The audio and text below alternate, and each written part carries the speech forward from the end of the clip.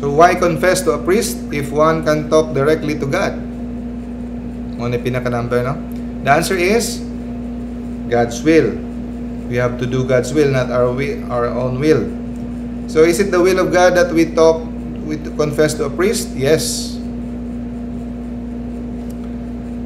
It is God's will that we should confess our sins to His priests. Catechism, paragraph 1495. Only priests who have received the faculty of absolving from the authority of the church can forgive sins in the name of Christ. Catechism 1463 states that the priest has the power to absolve from every sin. So, the priest absolves sin not in his name but in the name of Christ. The power to absolve sin comes from Christ, not in his own power. Ha? So, dili ang pare sa iyang kagalingon, wala siya kagalingon sa iyang kagalingon, but it is through Christ, the only high priest. Objection. How can the Catholic Church teach that a priest can forgive sins when the Bible teaches that God alone forgives sins? True. God alone forgives sins. Mark chapter 2 verse 7. Why does this he, this fellow talk like that? He's blaspheming. Who can forgive sins but God alone? So according to the Bible, God alone forgives sins. And Matthew 9 6, But I want you to know the Son of Man has authority on earth to forgive sins. Okay, only Jesus, only God. Pero, God can use human instrument to communicate blessing which alone He has the source. Example, huh? Ang healing, di ba? The Catholic Church doesn't believe that priest can forgive sins by his own authority.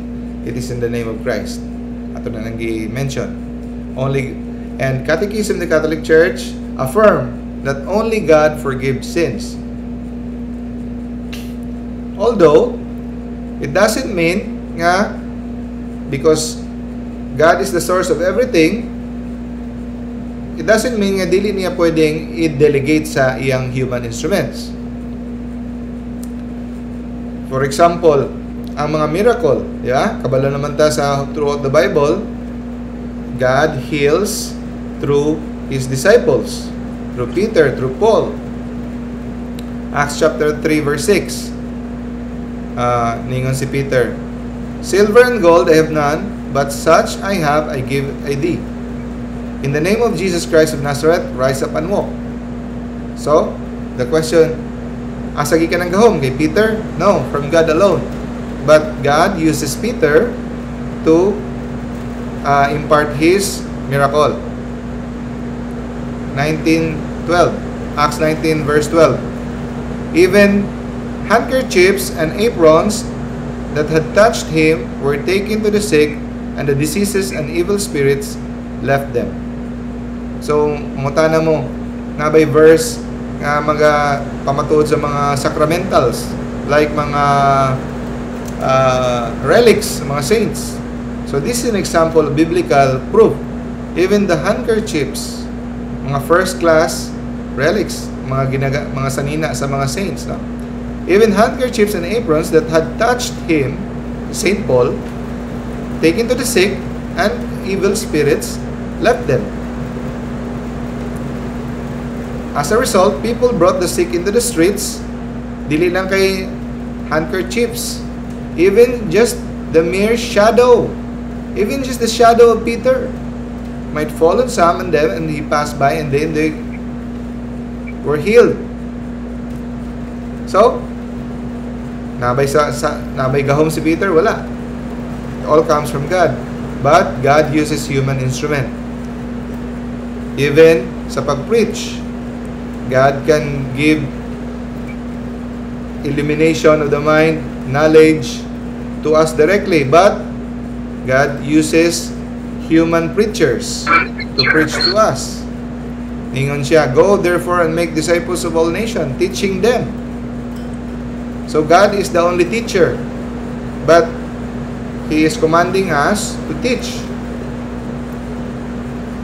And even through the scriptures, right? Pwede niyang isulat directly, pero nigamit siya human instruments to write the scripture. So, ingon sa Romans chapter 10 verse 14, How can they call on the one they have not believed in? And how can they believe in the one whom they have not heard? And how can they hear without someone preaching to them? So, unsaon pag nanginahanglan si God o someone who will preach. He is the source of knowledge, but he needs someone to preach. Because how can they hear without someone preaching to them? So, how beautiful are the feet of those who bring the good news. So if you help evangelization, God is so pleased with you. And He describes those people as how beautiful are the feet of those who bring good news. So He can communicate blessings to, to His human instruments. Huh? And in the Old Testament, there is already confession ang mga people nag-confess na sa priest. Ha? Leviticus chapter 19 verse 20. A man who committed adultery had to bring guilt offering to, for himself to the door of the tent of meeting. Ha? And the priest shall make atonement for him. So, kung saan niya pag paghatag sa atonement sa pare, kung dili niya isulti ang iyang sala, ang adultery. So, kung nakakommit sa adultery, the priest will make an atonement for him. The sins we committed shall be forgiven. So, mo ni mga biblical roots of confession. And then in Numbers 15, a priest shall make atonement before the Lord, etc., etc. And these examples in the scripture show that God involved ordained ministers in the forgiveness of people's sins. So he is the first cause of the forgiveness and the priest is just the instrumental cause. So, primary cause and the instrumental cause. So, mupod sa holy, holy the holiest day of Jews, Yom Kippur, the Day of Atonement. Ang pare, ay mag uh, facilitate sa reconciliation between God and man.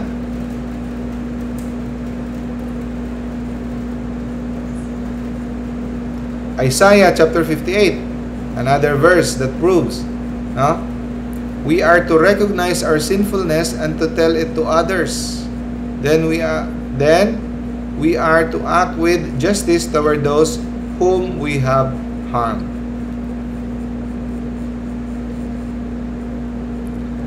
So mo nang uh, ningon si Jesus if if you bring your offering to the altar and you remember that someone is um, angry at you, make peace with that person. Uh, leave your offering to the altar and make peace.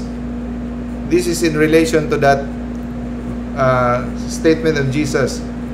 Uh, is it not sharing your bread with the hungry, bringing the afflicted and the homeless into your house, clothing the naked when you see them, and not turning your back on your own flesh? Only then will we be vindicated.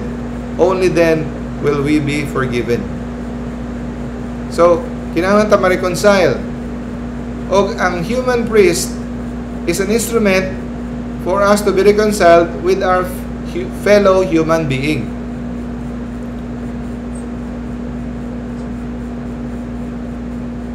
So, muna ating isulti, no? Matthew chapter 5, verse 23. First, go and be reconciled with your brother. Okay. Objection. So sa Old Testament man to. Karon New Testament naman. Giwala na ni Jesus ang priest. Wala na priest because Jesus in the New Testament is the only high priest.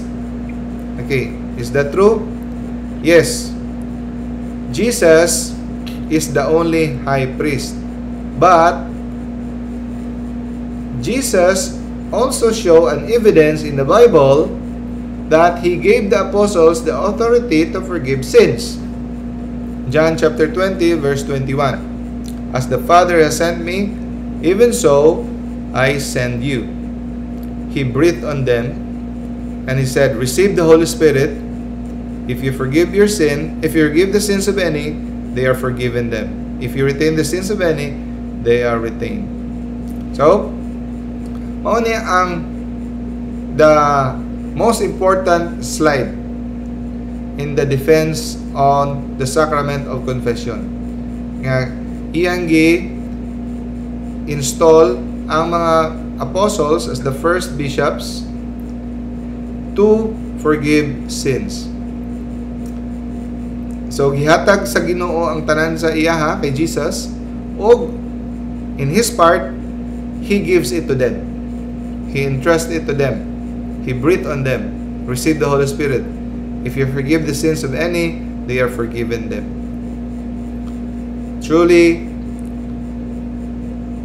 in relation niya sa, sa gospel ng ating ibasa, whatever you bind on earth will be bound in heaven, and whatever you loose on earth will be loosed in heaven.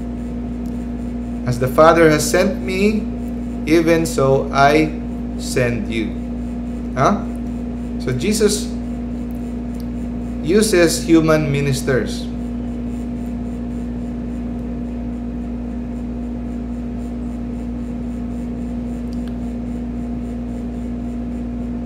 So the New Testament makes very clear that Christ sent the apostles and their successors to carry on the same mission.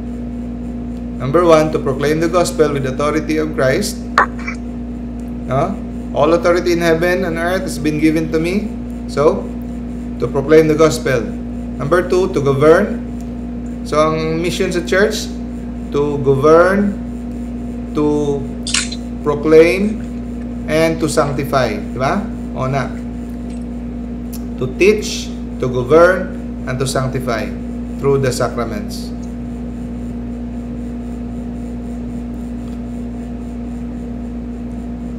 So, sa sacraments, mao kaning example ani is the Eucharist and the sacrament of confession. To forgive man's sins in the person of Christ. So unsaon man pag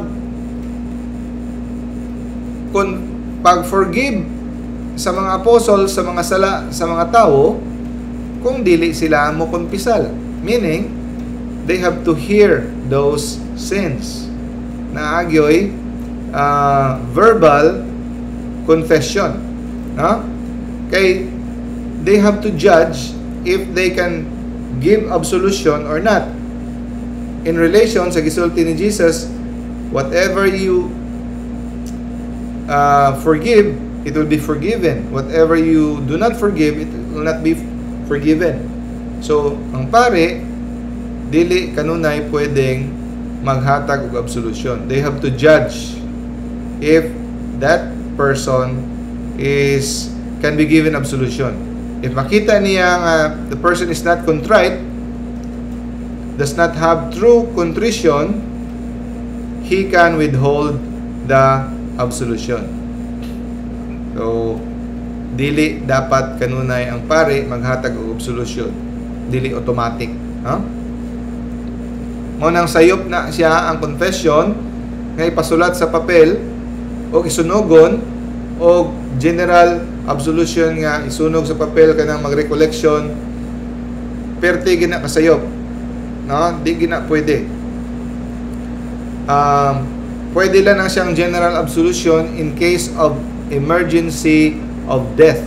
Like naa sa plane crash or naa sa barko murag malunod the priest can give general absolution okay everybody remind yourself of your sins and I will give you general absolution in case of emergency of death but in those Remember, Saint Jean Vianney is the feast of Saint Jean Vianney.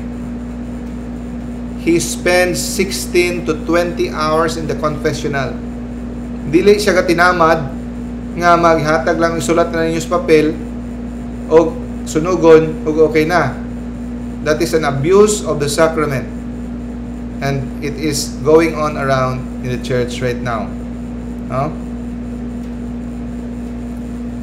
Since the apostles were given authority to judge, so they have to judge. No?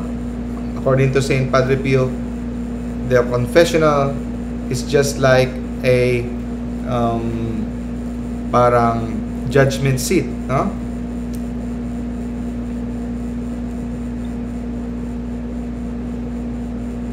So, another objection. Anong, why don't we hear anymore about confession to a priest in the rest of the New Testament? Anong wala naman takadungog na na-confession sa New Testament? Huh? 2 Corinthians chapter 2. So, so unsa may tubag na to? Tinuod ba nga wala tayong makikita nga confessing or confession sa New Testament Bible? The answer is no. Na 2 Corinthians chapter 2 verse 10 na ang sultin St. Paul. What I have forgiven, if I have forgiven anything, has been for your sake in the presence of Christ. So, St. Paul is referring to the confession nga siya naghatag og absolution. What I have forgiven, if I have forgiven anything, has been for the sake in the presence of Christ. So nagpasaylo siya in the name of Christ, not in his own power. So another proof. And St. Paul gives us the reason why he could forgive the sins of others. It's because of Jesus. 2 Corinthians chapter 5 verse 18 And all things are of God who has reconciled us to himself by Jesus Christ and has given us to, to us the ministry of reconciliation. So mo nang reason nga makaforgive siya because Jesus has given to us so biblical kayo the sacrament of reconciliation or the ministry of confession is given to us by Christ. Very clear. This is how you answer those who object na wala ta mabasa sa Bible sa confession. All the things are of God who has reconciled us to Himself by Jesus Christ and has given to us the ministry of reconciliation. Huh?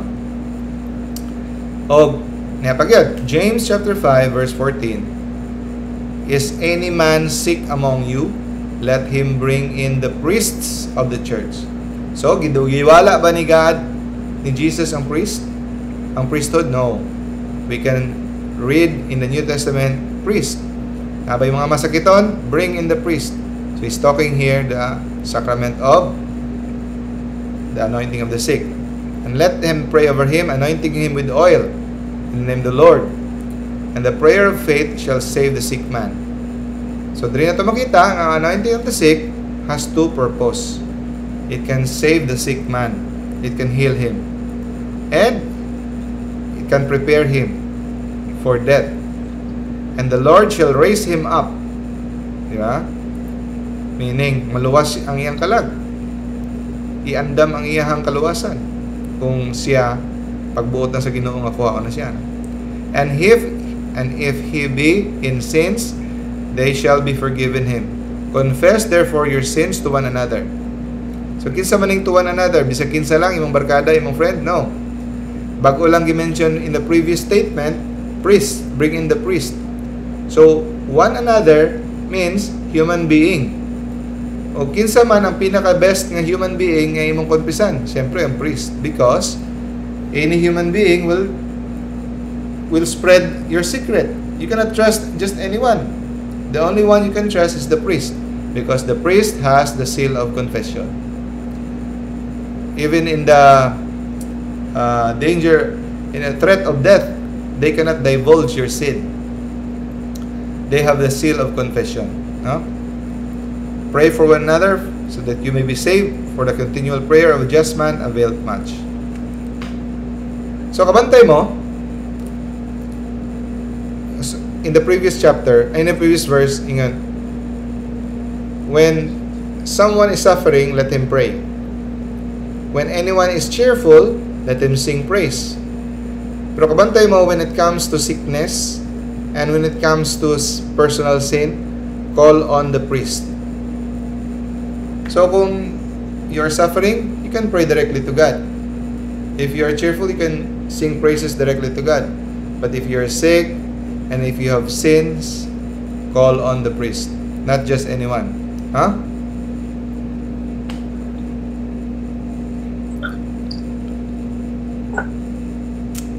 So, confess our sins to another. So, nga nung dili man confess your sins to priest, confess your sins to one another because nga nung wala nag-mention ang priest specifically, because redundant na kung isulti na pod because previous verses gisulti na ang priest. Ang meaning sa uh, elder sa uban nga version sa Bible, elder ang gigamit dili ka kakitag priest. Ang ubang version presbyter or sa Greek presbyteros, no? Ang especially kung Protestant Bible ang gamiton, dili sila mo gamit og presbyter or priest, inahadlok sila. Kaya ma-disprove ang ilang kwat. They will just use elder. But the proper term is presbyteros, it is priest, no? That is why importante ita mo gamit og uh, Catholic Bible.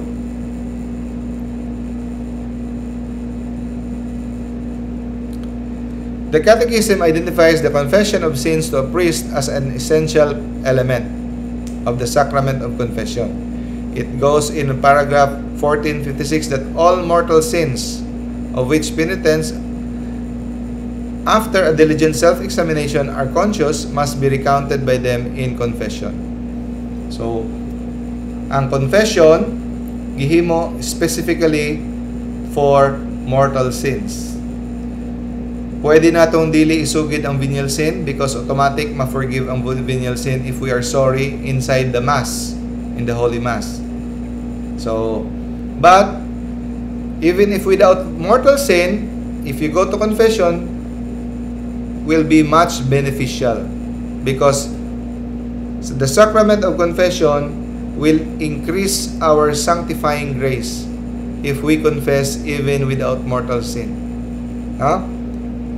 So sayop ng apagtuo nga you only go to confession if you have mortal sin. Even holy saints go to confession once a month. Huh? Or once every two weeks si Saint si Juan, si Padre Pio gusto kay niya once a week. Eh. No? Because confession can help us to become strong against sin. It will make us strong against sin.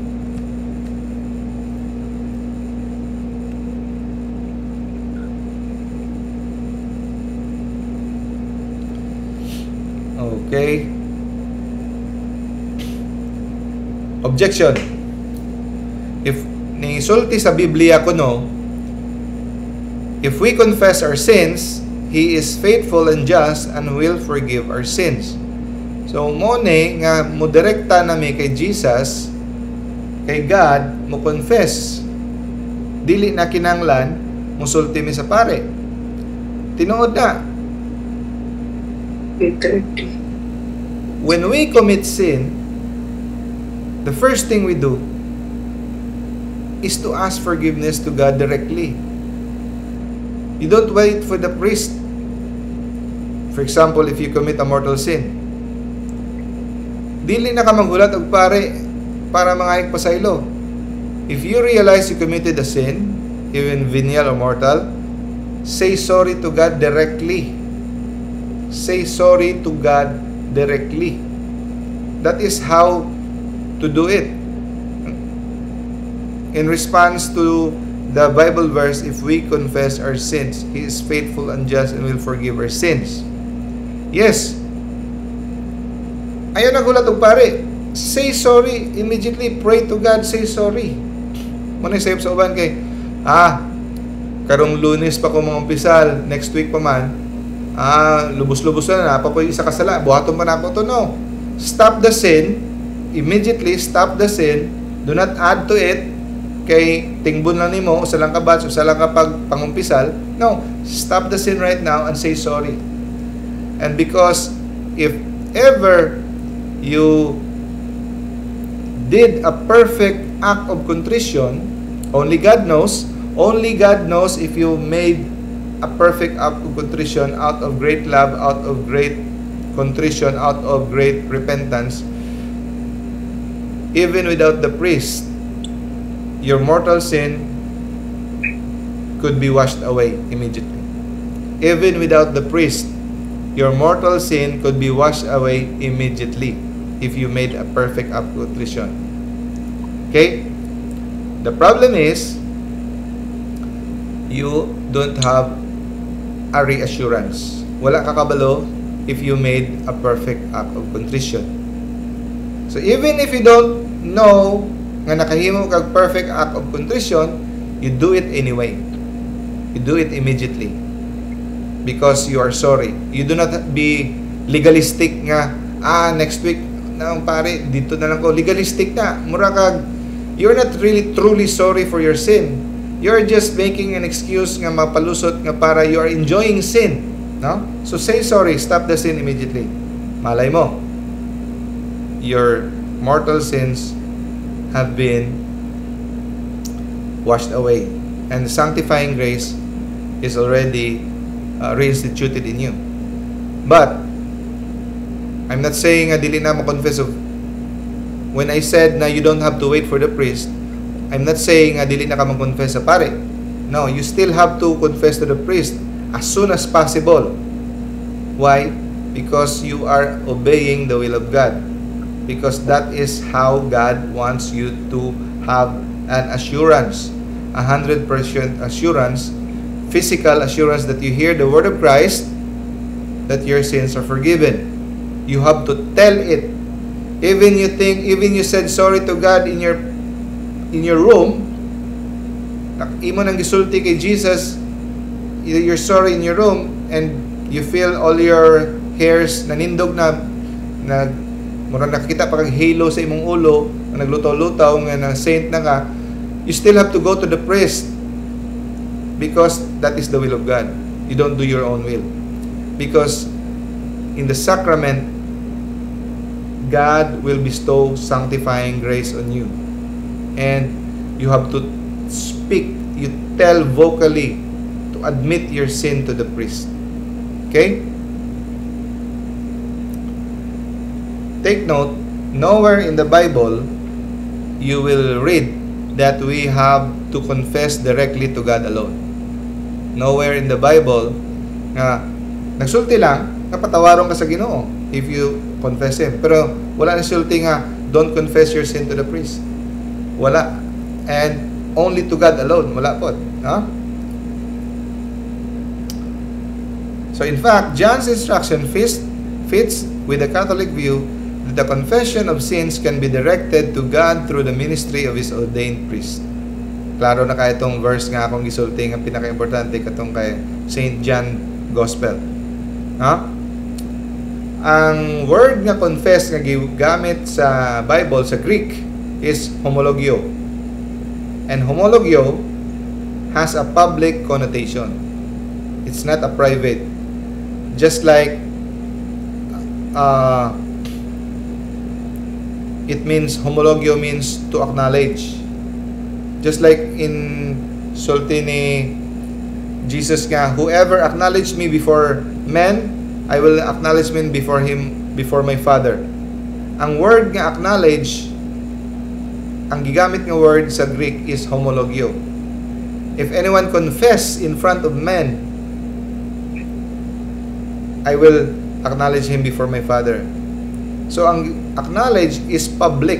So, confess is a public affair. So, there's a priest. It's not just a private thing that you and God alone. That's it. No? You have to confess your sins to God directly, immediately, and afterwards, you go to a priest.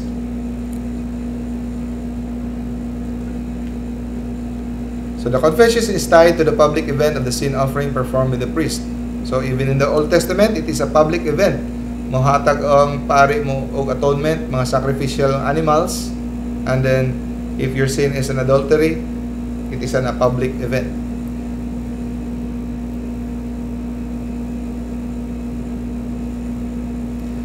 Sa Matthew chapter 3 verse 6, mabasa na to, confessing their sins, they were baptized by him the Jordan River. Even St. John, nagpa-confess. Ang mga tao ni Adto, kung nag-confess sa ilang mga sin, and they were baptized in the River Jordan. In Acts chapter 19 verse 18, after Paul exorcised a demon-possessed girl, many of the Ephesians came confessing and divulging their sinful practices. So, Pumunta na sila, naabay makita nga mga tao ng mumbisal sa New Testament, here it is. Acts chapter 19 verse 18 of, of several verses nga itong ipakita. Ganiha. And sa Didaki, by the way, ang Didaki, dili ng Didaki nga ginabasa nato karon nga kanang kay Bo Sanchez, ang tinuod nga Didaki is the teaching of the 12 apostles nga gisulat around 70 to 150 AD. So diha nagikuha ni Bo Sanchez ang Didaki nga word. Pero actually it is a small um, di pa may booklet sa una, mga parchment siguro. Kanang mga sinulat nga na, nga na-recover nila is the teaching of the 12 apostles which uh, enumerates no ang mga unsaon pag-perform sa mga sacraments. Just like example this is a excerpt from one of the pages of the Didache ningon dito confess. So mo ni ang mga specific teaching sa early apostles early early Christians nga wala na apil sa Bible Didache Ingon, specific ayo. Confess your sins in church and do not go up to your prayer with an evil conscience. This is the way of life. On the Lord's day, gather together, break bread, and give thanks. After confessing your transgressions, so that your sacrifice may be pure. So, do not receive communion. Specific na sa una. If you do not confess your sin. So, ang liturgical or common ceremonial practices of the church na atong gina-practice karon are thoroughly detailed in the document of the Didache. Yan atong ginakuha. Pero sad to say, mga Protestants, wala sila naga-honor aning Didache, mga extra biblical sources. This is part of the sacred tradition. Ha? So the Didache provides direction on the public worship in the church and furnishes to its reader clear examples of how certain ceremonial activities are to be handled. So the Didache provides the early church with an instruction manual on how to deal with very complex issues both in personal and public arena. So another objection. So ningon sila Tananta priest man. Sulti sa Biblia, we are all priest. Sulti sa Peter, you are a chosen race, a royal priesthood. Yeah, that's true. Pagbunyag nato, we are all priest, prophet, and king. We share in the three ministries of Christ. Priest, prophet, and king. But, among the royal priesthood, God chooses ministerial priesthood. Just like He chose the 12 apostles to do His ministerial works. Just like in the Old Testament. Sa Old Testament, na universal priesthood, na apoy priesthood nga sa Levitical priesthood. Nga sila lang ang pwede mag-handle sa mga ceremonies. Ha? So Jesus is our high priest. He is the only priest. And kita tanan, we are united in Christ the ministerial priesthood and the royal priesthood. That's why kita, we can say in our prayer, Oh my God, I offer to you the precious blood of Jesus present in all the altars of the world, united with it, the offering of my every thought, words, and actions of this day. So that is why we can offer His precious blood to God because we have the right, because we have been baptized, we can, we are a priest. That's why we can offer.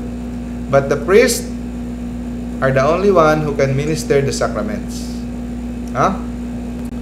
When Jesus said to them, Do this in remembrance of me. Remember, when Jesus said, Do this, He did not say it to the public.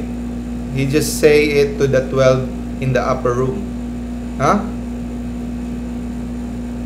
And Jesus said, Do not think that I have come to abolish the law of the prophets. I have not come to abolish, but to fulfill them. So he fulfilled it.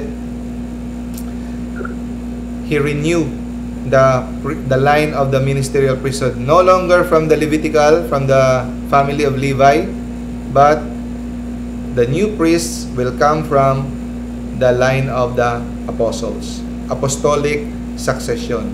Ha? So, makita nimo sa Old Testament na counterpart sa New Testament. Sa Old Testament, Adam, and the New, Jesus is the new Adam. Eve, and the new Eve is Mary. The bronze snake in the Old Testament, if you look at them, if you look at the bronze snake, you will be healed from the snake bite. And the New Testament, the counterpart of the bronze snake is Jesus. Old Testament, circumcision. New Testament, baptism. Ark of the Covenant, New Testament. Old Testament, New Testament, the Ark of the New Covenant is Mary. Passover, and the New, New Testament, it is the Eucharist. Crossing the Red Sea, in the New Testament, is baptism. So, na counterpart. So, wala giwala ni God ang priesthood na agyapon lahi na og uh, presentation because he will not abolish it but fulfill it to perfection